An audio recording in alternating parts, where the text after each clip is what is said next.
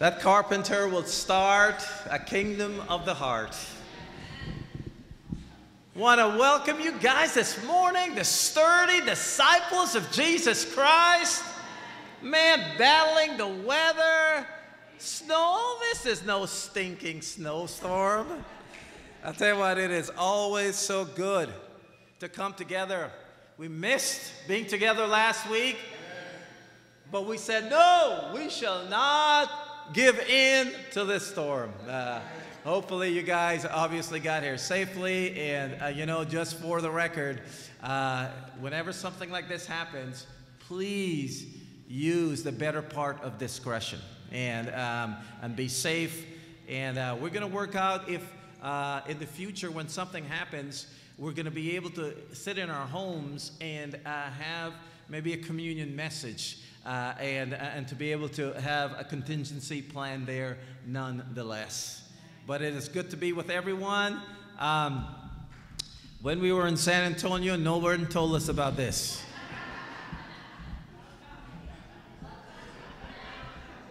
I feel I've been had, I've been took, I've been bamboozled. No, it's uh, so good to be with everyone. And uh, last night, actually, Melanie and I had a chance to drive to uh, Montreal and uh, to meet with the church. They want to share a little bit with you what's going on there. It is simply inspiring. The church began the year on a 21 day fast. And uh, of course, uh, given people's health situations or whatever, uh, there, people have fasted from a, a, number of things. And it culminated yesterday with a solemn assembly. And uh, the leaders of the church there, Stanley and Dominique, asked uh, me to come and uh, preach uh, last night. And to say it was inspiring would be an understatement. As literally the entire church gathered from 7 till midnight.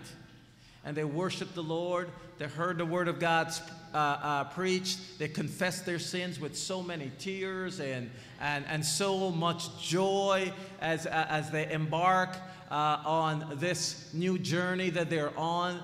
As they have rendered their, gar- uh, their garments, not, uh, they rendered their hearts and not their garments, as they've given their lives over to God, it was simply, simply phenomenal. And I, I told Stanley, uh, we, uh, I'm watching very carefully because uh, I want to learn from what's going on there and to see what God is doing. And so we went there. It started 7 in the evening.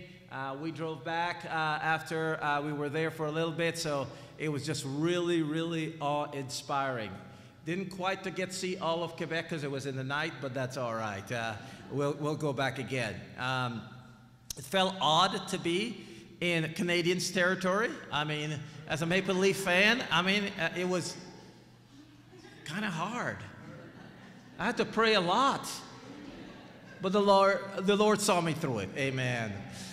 We're continuing our series, The Epic Battles of the Scriptures. We've chosen 10 epic battles.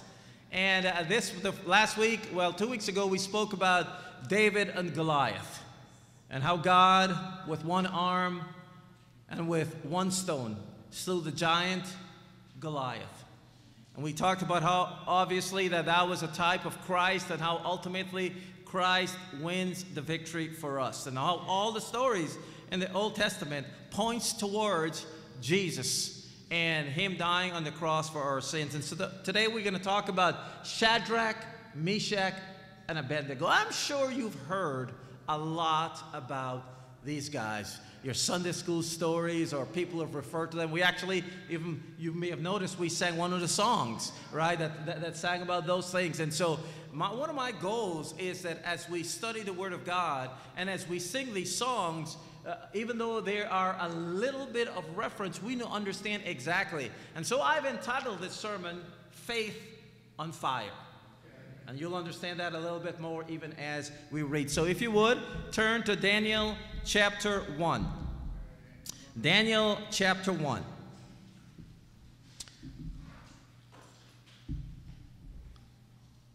After we were, I saw all the songs that we were planning, I was wondering, I asked uh, Dwayne, am I going to have a chance to come on up here? And he said, yes, five to six minutes you have. You make the most of it. Amen. Daniel chapter 1, verse 1.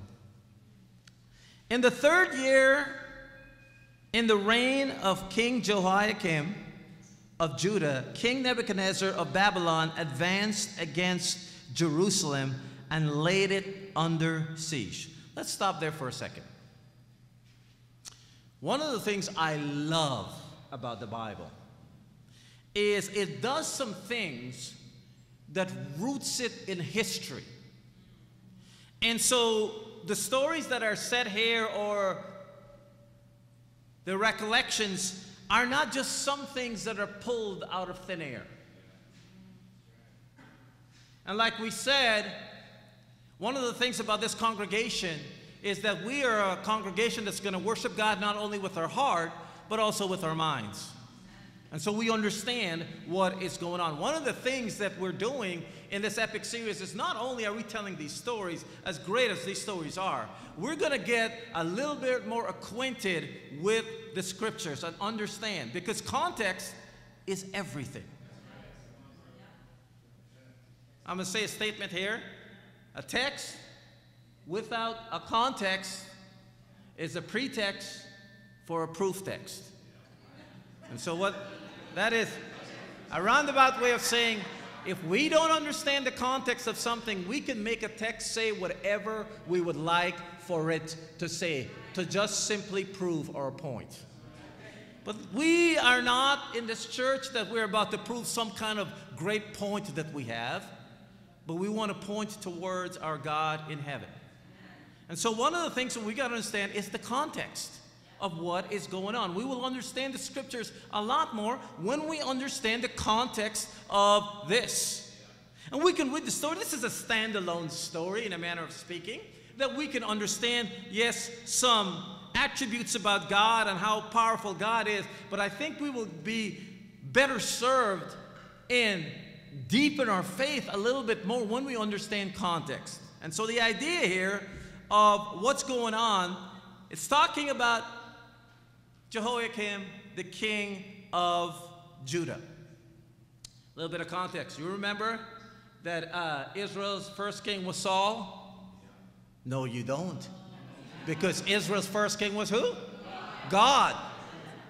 Israel's first king, human king, was Saul. Trick. I do that. Sorry about that. I apologize. And of course, David, after Saul was defeated, and, and, and one of the most sober statements in the scriptures, the Bible tells us that God left, his spirit left Saul. David was anointed king, he became king of Israel, and it was a glorious time in God's kingdom. 80 years later, shortly after, even God, God warned them what would happen if they chose a human king. As a matter of fact, when Israel chose uh, Saul as their king, God said, Oh, they've not rejected you, Samuel. They've rejected me as king. And that was a sober statement. And yet we see that God, in His mercy, allowed Israel to gloriously be a nation. But 80 years later, the kingdom of Israel divided. It divided into 12 tribes. And they divided also into a northern and southern kingdom, of which there were 10 tribes, and then there were two tribes. And shortly after this, what was uh, an incredible victory after victory after victory, as, as David was winning victories upon victories, it was a sobering time because the kingdom got divided. It's amazing. It's amazing how human beings can become so divided rather quickly. When pride, when self promotion, when wanting to be the greatest, and oftentimes that is a mark on Christianity. A lot of people refuse to enter God's kingdom because of the dividedness that is found on ridiculous issues. And Satan must laugh. Nonetheless, This has been a mark of God's people literally throughout history. And so, about 935 BC, the kingdom is divided. And now, the only kingdom that is staying faithful to God is Judah. And yet, Judah too has strayed from God, and Jeremiah and Daniel are contemporaries. I want to help you guys understand that, okay? They're at the same time. They're preaching, they're talking, and Jeremiah warns the people of God. You should read it sometime. He warns the people of God that they have rebelled against God and that there are serious repercussions when we turn our back on God. I'm always reticent when people describe today's world as man, it's getting worse and worse. I'm not convinced. Have you read the scriptures? Do you understand God's people? Do you understand people in general? I'm not saying it's heaven and earth, by no means. But hearts of people were exposed, and, and God, in His mercy and His grace, would send prophet upon prophet to warn people, to talk to them. Listen, you've got to turn your ways and turn towards God. And warning upon warning upon warnings. And what God does is quite remarkable.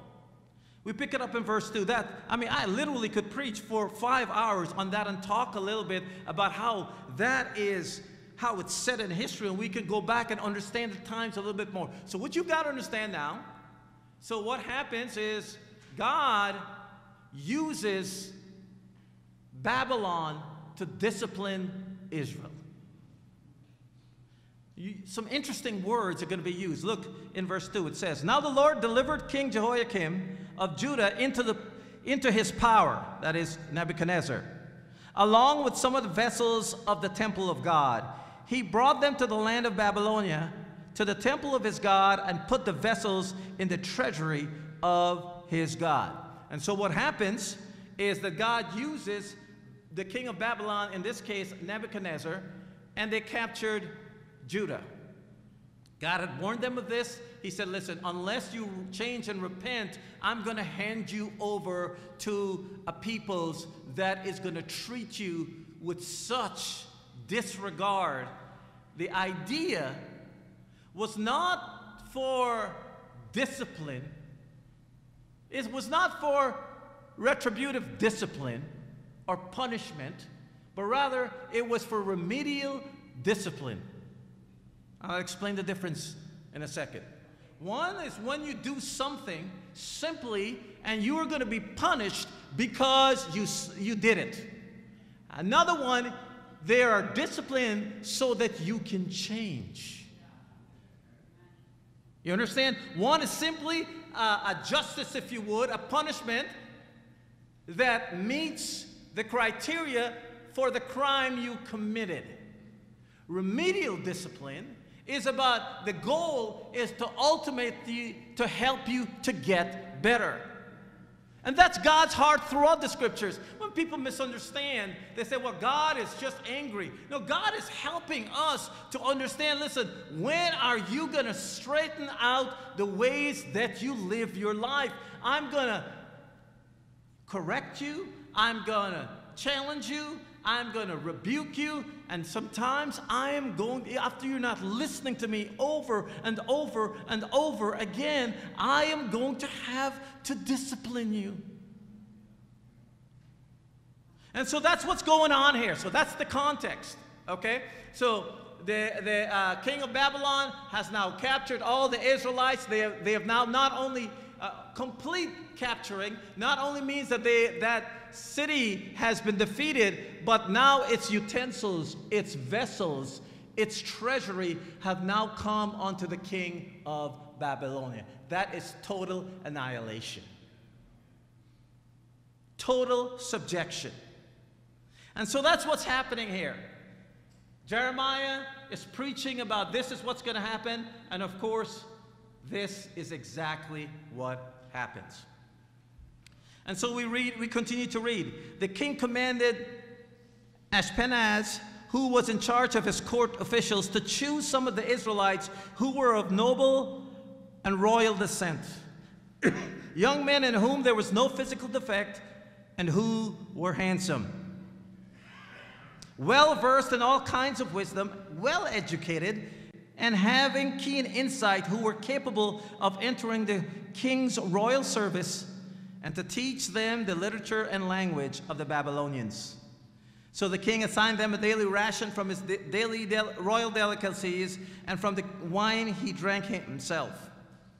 They were to be trained for the next three years. At the end of that time, they were to enter the king's service. So what's happening here? So they, they captured the, the, the, the Israelites, and the king of Babylon says, okay, we want the best of the best, so to speak. And we want them to come and serve in my courts. Not only do I want them to come and serve in my courts, I want them to be trained properly. Scripture tells us there was going to be three years of training that was going to take place in order for them to be qualified to serve on the king's court. And so then they were given some food. They said, okay, not only we're we going to train these guys, we're actually going to feed them. And we're going to make sure that they're healthy. You know, it's a lot what happens with, uh, with a lot of schooling now, with, with doctors and, and, and dentists, people especially in the medical field. The, the, the colleges or the universities actually lose money with these people who come in, meaning they don't pay for all the money that they spend in college. It's a loss. The whole idea, ultimately, is that these people would come out and be productive members of society. And that's one of the things why, when you're in medical school, unless you're an absolute derelict, they don't want you to fail. They're investing in you so that you can come out and really be a contributing member of society. Really, same concept here. Is that, hey, listen, we're going to invest in you. We're going to make sure that you get the right kinds of food, that you make sure that you have the right living, so that at the end of three years, you're going to be able, it's not going to be a waste of time. That's why it burns my heart when people who have been disciples for a while, for whatever reason, walk away from their faith. After all that we have learned, after all that God has invested in you and God has invested in me. You know, I've been a Christian now for 32 years, and this is my family warts and all. Some are bigger warts than others, but I'm not, I'm not going to say Granville is one of those. Like, I'm not going, I did not say that. You understood that that's what I said, right? This is my family. To give up after 32 years is absolute madness. Am I going to fight the challenges in my life with or without God? It just seems obvious I would fight it with God. And then with people that I love around me, I mean, that just makes sense. But sometimes when, you, when you're going insane spiritually, you make stupid decisions. And if you don't have people in your life to point you in the right direction, then we too will fall prey to that. And so the king was training these young men. And we find out, it says there in verse 6, as it turned out, these young men were some from Judah Daniel, Hananiah, Mishael, and Azariah. But the overseer of the court officials renamed them. He gave them Daniel the name Belteshazzar, Hananiah he named Shadrach, Mishael he named Meshach, and Azariah he named Abednego. I always wondered, when I read the scriptures, why do we say Daniel, Shadrach, Meshach, and Abednego? That's not the pattern here, right? It's Belteshazzar, Shadrach, Meshach, and Abednego, or Daniel, Hananiah, Mishael, and Azariah. Right? We, we gotta, if we're gonna write, name it the right way, we ought to name it the right way. So, long story short, that's why we give you guys the, the things to, to read, the scriptures. Um, these guys said, hey, listen, we don't want to defile ourselves with the king's delicacies. We're going to have our own meal. The guy who was in charge of these guys said, hey, listen, have you lost your mind? Do you know my responsibility? It is to make sure that you guys don't fail. So you better eat the proper food. Daniel says, okay, let's put a test. And this is a test. Just give me 10 days. Give me 10 days, and let's see the diet that I'm suggesting, whether or not it is going to be better than the diet that you're giving me. I know, court official, you got a good heart. But I'm afraid you're not quite understanding who my God is. You will find throughout the scriptures that God is yearning for us to say, Trust me. I know it doesn't seem reasonable all the time to your mind, but trust me. Trust when I say that if you live an immoral life, that ultimately it doesn't benefit you. Trust me when I say that if we run after gold or silver or education, if we're merely trying to impress people, trust me, it's a losing battle.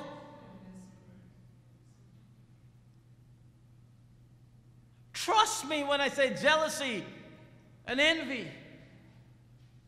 Trust me when I say when we're just simply contrarians and we cause factions and dissensions. Trust me, these things do not benefit you.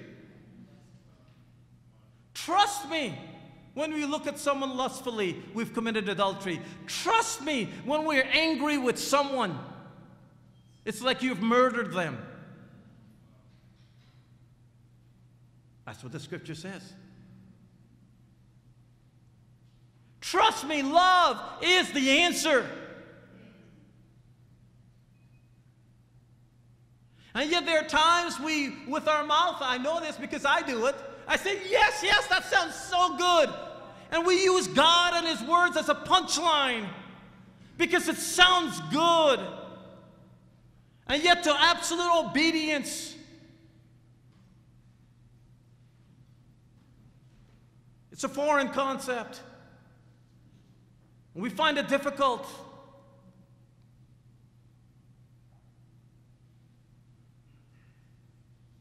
And we look at our world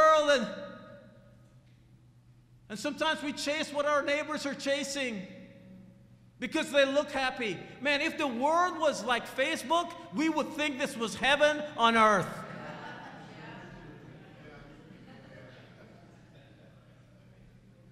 Everybody looks so happy. They're on a nice vacation, and everything in the world is going right, except for a few but for the most part, we will think, man, wow, we have solved the world's problems. And all you've got to do is talk to that person, you realize that does not represent reality. Facebook should be renamed Facade. Because that's what it's all about.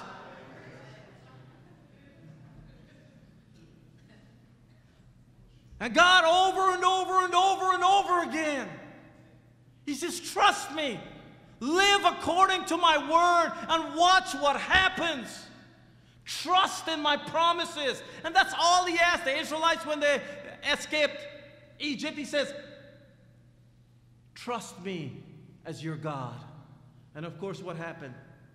They went and chased after other gods.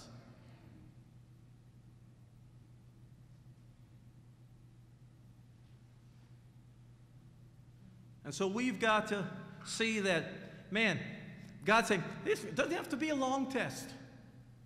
10 days. Is there something in your life right now that you're grappling with? And you're wondering, man, which way should I go?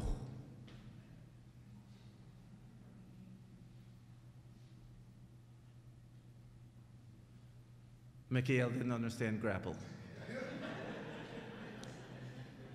I'm, I'm going to learn French that eventually I'm going to do both. I'm going to preach in both languages.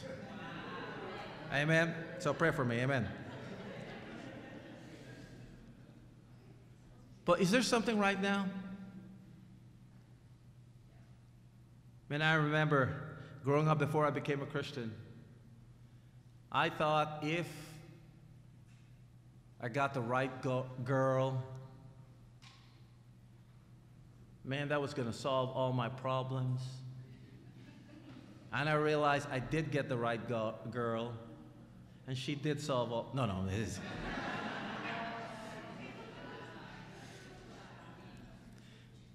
but I wondered, I wondered.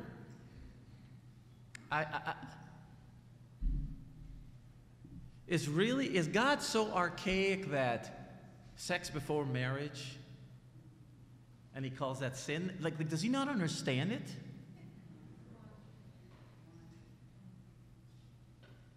Really, do I have to be truthful all the time? Can I tell so called white lies? Lies that we think benefit other people?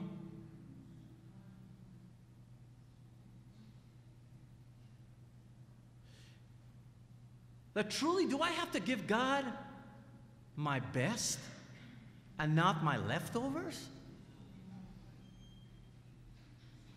Man, I had a form of Christianity when it was Sunday morning to give, it's when I put my hand in my pocket and I really, oh, I had none. Oh, or next week I have $2. And that transfer, that was just symptomatic of my life. Where I pursued other things, my education, my goals in life, and secondarily, oh, but I wouldn't disregard God's plan for my life totally. And while it was not the last resort, it was certainly not seeking God's kingdom first. When I read scriptures that said, seek God and his kingdom first, I said, what a nice ideal. When the scripture says I must love God more than I love any other relationship, including my spouse or my children, what? I went, I've read this Bible so many times, I had never seen that in the context that I finally saw it. And I started to make decisions in my life that said, nobody lives like this. Why even try? But the idea is that God absolutely gives us tests in our life. And I challenge you here today, whatever you're grappling with, put a test before God and see what He answers. But be faithful.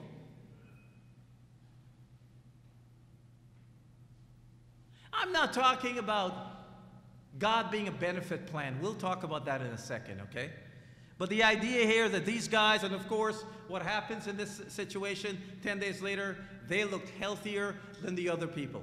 And the, the king said, okay, all right, awesome, your way wins. And so that was the first little battle. So we pick it up in Daniel chapter 3.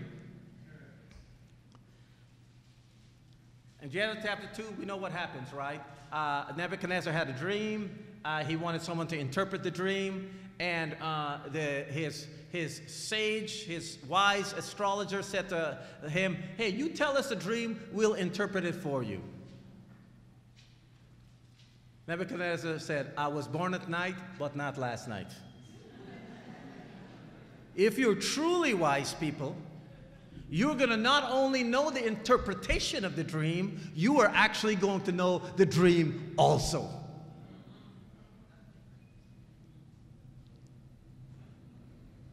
He said, well, these guys said, oh, whoa, whoa, whoa, whoa, whoa, good old Nebu. Nebi, Nebi, Nebi, Nebi.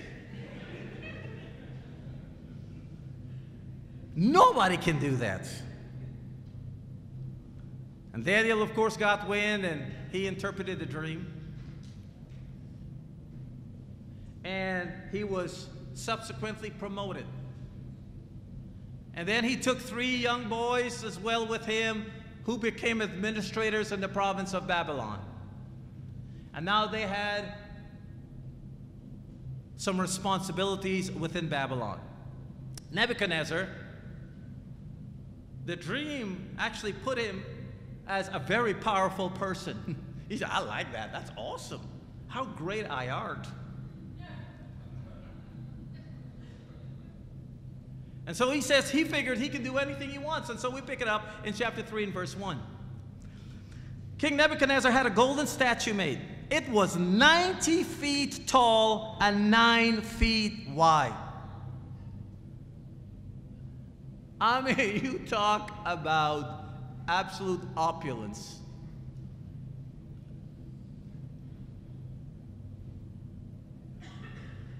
He says, Man, I just I want to be recognized.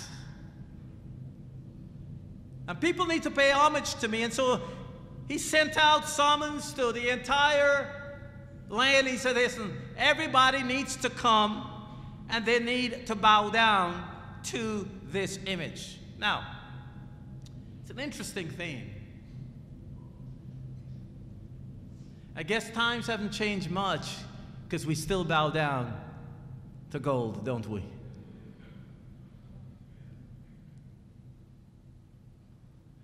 Canada now has become one of the highest debt ratio in the world. Yes, even more than our southern friends.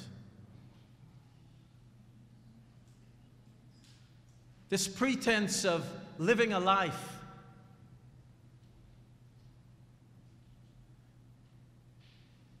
is not lost on us.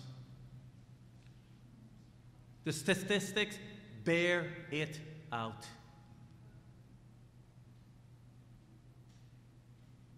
But if you were to talk to, oh, we have ads that says the universe needs more of Canada.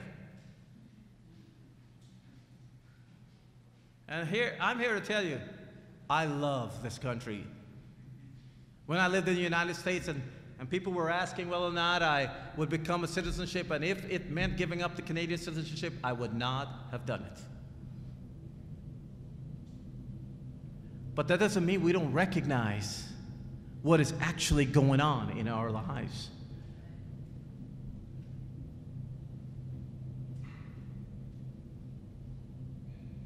And so things, interestingly, in 3,000 years haven't changed much, has it? We still wonder if we're driving a nicer or newer car than our neighbor. Well, or not the ring that I gave my fiance was better than the other person. Whether or not I have a projection of my life. And bowing down to this God of gold has not changed at all. Just read the top 26 people in this world, rich, that we know about, have more money than the 3.8 billion people.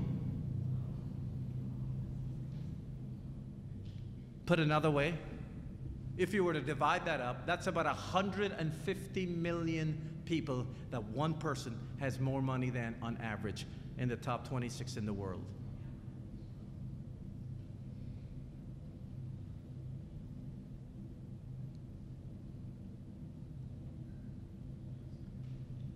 It's stunning to me that we live in a world.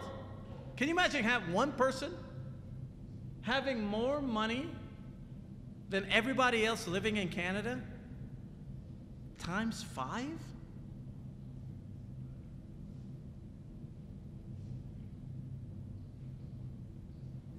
And yet we read and we hear about people saying after they've gotten a lot of money, man, I wish I didn't have much. And you know what you and I say?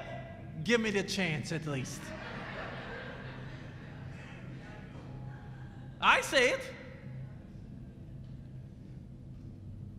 I remember sitting down with a man who was worth about $170 million. And we're talking about our lives. And he says, Tony, I will gladly share places with you because this money has become a burden to me. I said, Where do we sign over?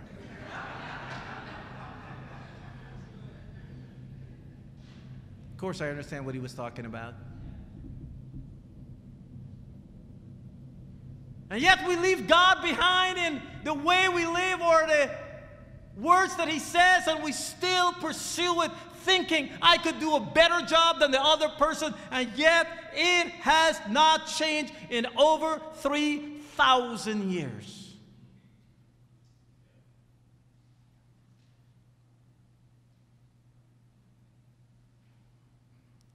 Do you know if evangelical Christians were to tithe for one year, we will end the world starvation problem?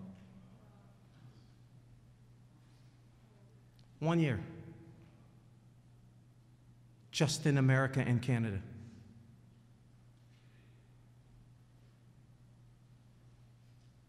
Listen, it's not an issue of resources, it's an issue of the heart. Resources? Are you insane? Do you see what we have around? We continue. And so he built this image and he says everybody needs to bow down to it. And we know the story.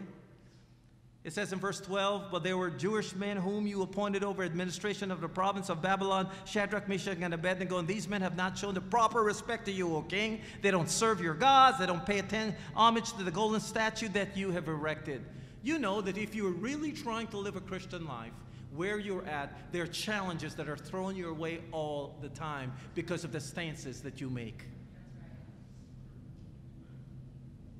Now, I will tell you that there are certain people who use Christianity as an excuse for bigotry and not loving. That's not what I'm talking about.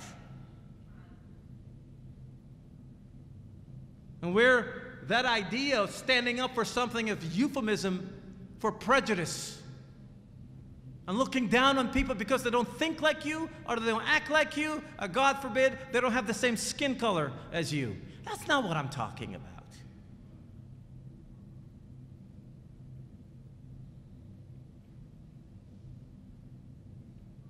These guys were sought out because of their devotion to their God.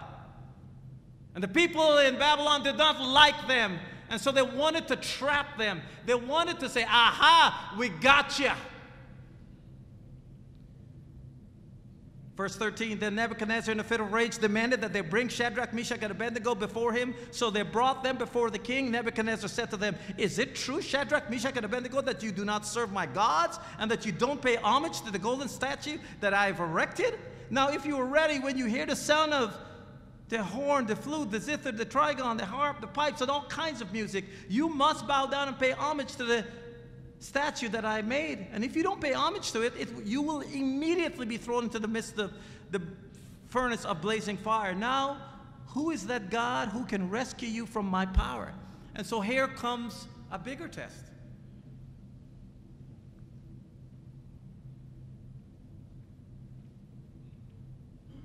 What is your breaking point?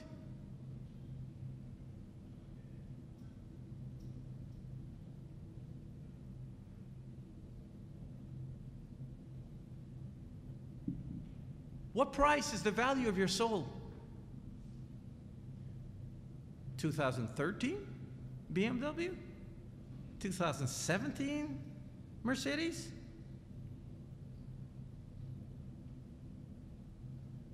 I, I don't know the, the great neighborhoods yet, but let, let's pick one of those, okay? All right. A house there? Where? Right here? Okay, around this neighborhood, all right?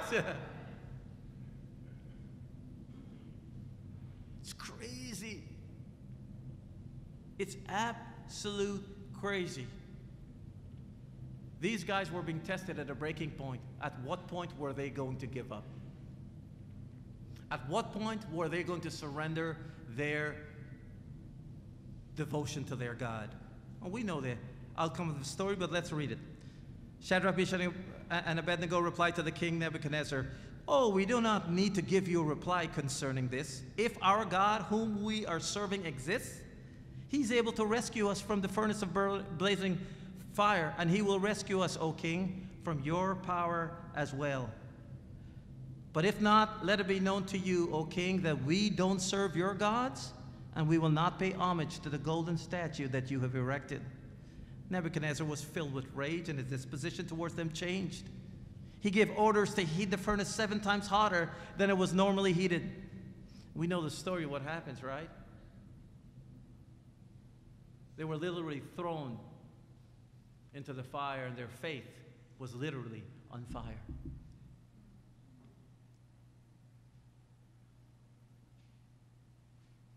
And I know a crowd this size. I know that there are battles in your and my heart right now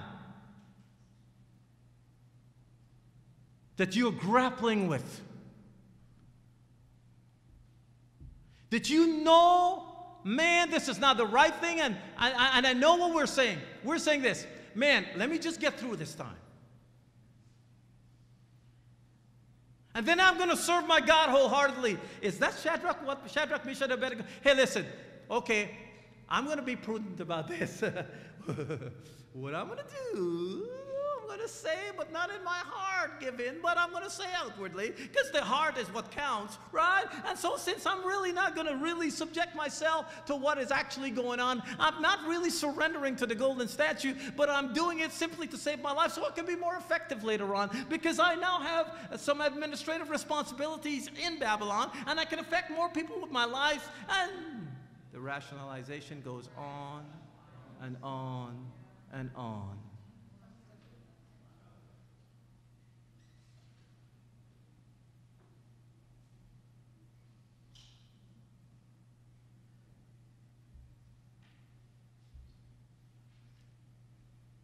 The guys who were throwing him into uh, the furnace, it, the fire was so hot that they themselves were killed.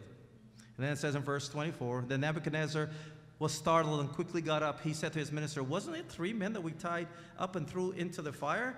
They replied to the king, Oh, for sure, king. For shizzle. But I know but I see these four men untied and walking around in the midst of the fire. No harm has come to them, and the appearance of the fourth is like that of a god. Then Nebuchadnezzar approached the door of the furnace of blazing fire. He called out, Shadrach, Meshach, and Abednego, servants of the Most High God, come out, come here. And Shadrach, Meshach, and Abednego emerged from the fire. And the Bible tells us they did not even smell of fire.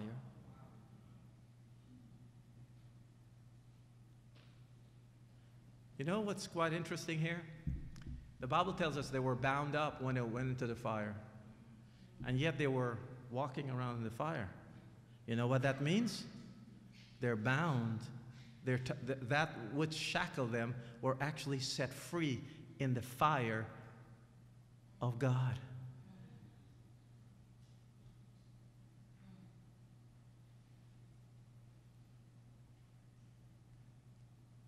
The trials and the steadfastness of your faith is actually what will set you free and not imprison you. Satan tells you the exact opposite.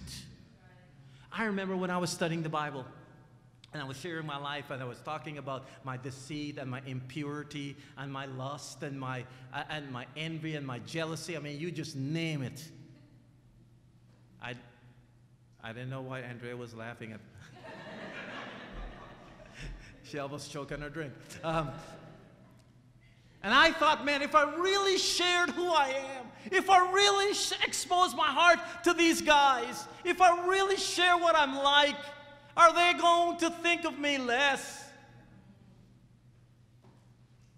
Somehow I had this idiotic thought that people really were thinking about me all the time.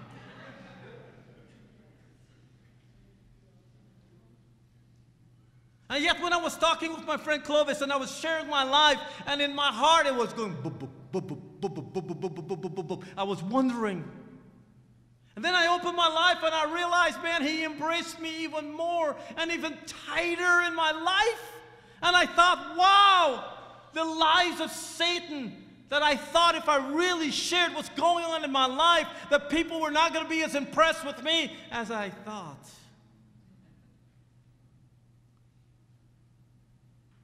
And the shackles really came loose. And as these men were thrown into the fire, do not buy into the lie of Satan that says, man, if I really pledge my life to God and give my life fully to Him, that somehow I am going to be shackled. I know there are some teens in this room who think, man, I don't want to give my life over to Christ because if I do, you know what's going to happen? I'm not going to be allowed to do a lot of things. That's a lie straight from the depths of hell. The only regret I have becoming a Christian at 19 is that I didn't become a Christian earlier.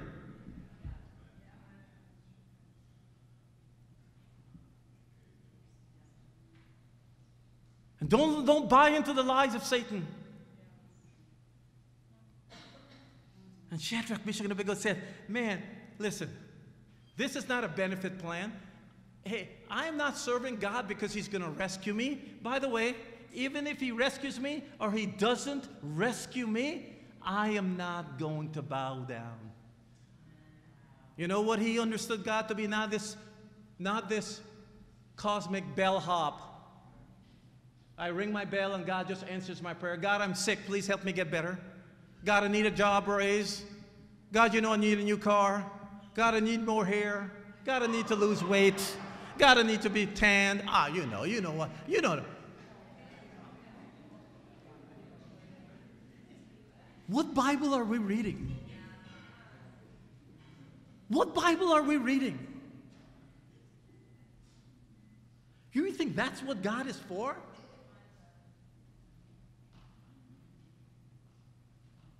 God, I'm going to the golf range and I need help me to hit it straighter.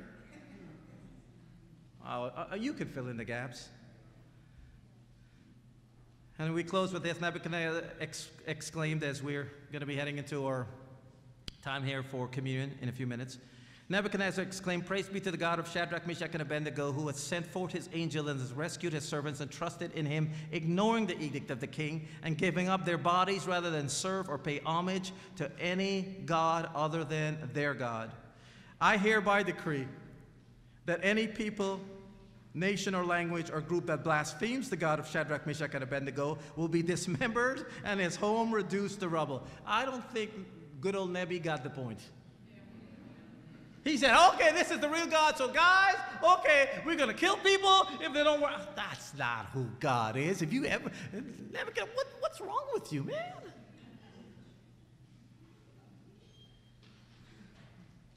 Listen, if someone doesn't go and believe the scriptures as we do, we don't wish evil on them. We don't try to dismember them.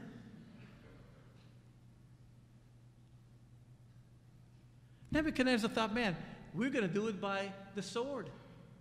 We're going to do it by power. We're going to have an edict. Just like I had the other edict, we're going to have another edict. Ah, he didn't quite get it, but that's all right. He was trying. Nebuchadnezzar realized, he says, man, these guys were willing to give their bodies instead of giving up their faith. How about you? How about me? There are concepts like this in the scriptures all the time. God says, hey, if your right hand causes you to sin, cut it off. Your left hand causes you to sin, cut it off. 1 Peter chapter 1, as the brothers and sisters are helping us and preparing for the communion. In verse 3, it says this Blessed be the God and Father of our Lord Jesus Christ. By his great mercy, he gave us new birth into a living hope through the resurrection of Jesus Christ from the dead. That is, into an inheritance imperishable, undefiled, and unfading. It is reserved in heaven for you, who by God's power are protected through faith for a salvation ready to be revealed in the last time. This brings you great joy. Although you may have had to suffer for a short, short time in various trials, such trials show the proven character of your faith, which is much more valuable than gold. Huh, interesting. Gold that is tested by fire, and even though it is passing away, and will bring praise and glory and honor when Jesus Christ will be revealed. You've not seen him, but you love him. You do not see him now, but you believe in him, and so rejoice with an indescribable and glorious joy because you are attaining the goal of your faith, the salvation of your souls. See what he's talking about? He says this reference to fire and gold, right? He says, listen, gold, even gold needs to be refined. And Nebuchadnezzar, it was not Shadrach, Meshach, and Abednego who needed to be thrown into the fire. It was your statue that needed to be gold thrown into the fire to be refined. And so there are references to, you know, when you read the scripture, you realize it's so intertwined. It says, listen, this faith is imperishable. This joy is indescribable.